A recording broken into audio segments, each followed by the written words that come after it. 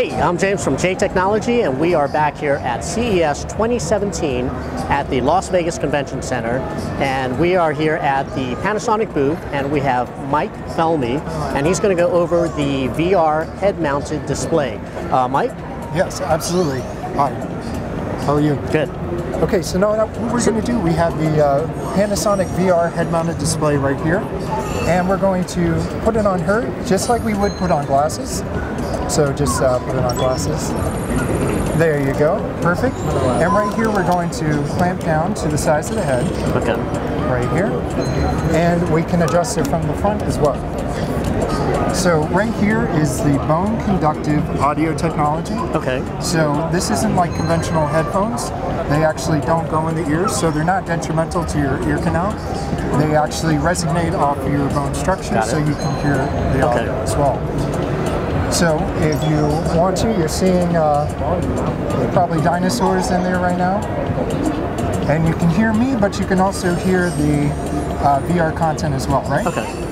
Perfect, perfect. And right here, I can toggle between the conventional 100 degree range and the 220 degree range that Panasonic offers okay. as well. So I'm going to do that right now. So that's the 100 degree range that's the 220 degree range that Panasonic has. So you see a big difference as well. Wow. Okay.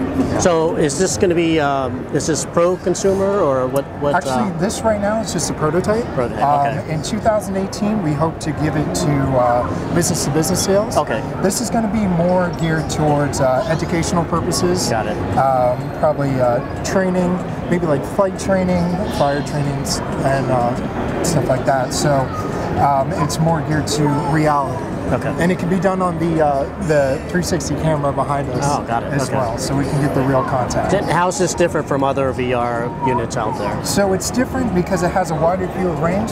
Um, it doesn't have the 100 view range okay. like most uh, VR head units. Yes.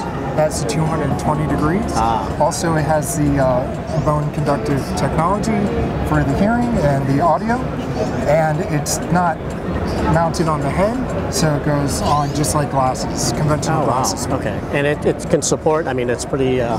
Yes, in, in the uh, front it's a little heavy, but um, when it goes into production, it's probably going to be a little bit lighter. Okay, sounds good. And is this going to be available uh, this year? It will be available uh, next year. Next year, yep. okay. And uh, based on uh, the reviews and everything, feedback from people, okay. uh, it'll be consumer rate. But Panasonic hopes to film with the uh, 360 camera, so it'll be formatted to the head unit okay. for the 2020 uh, Japan Olympics. Oh wow! Okay, yeah. sounds good. Absolutely. And uh, is there a price on this yet? Or? There's no price. Okay. It's to be determined, and um, I'm sure they'll decide that. Oh yeah. And this is uh, this is pretty cool. Yeah, absolutely. Very cool technology. Okay, well, thank you, Mike. Yeah. Thank you so much.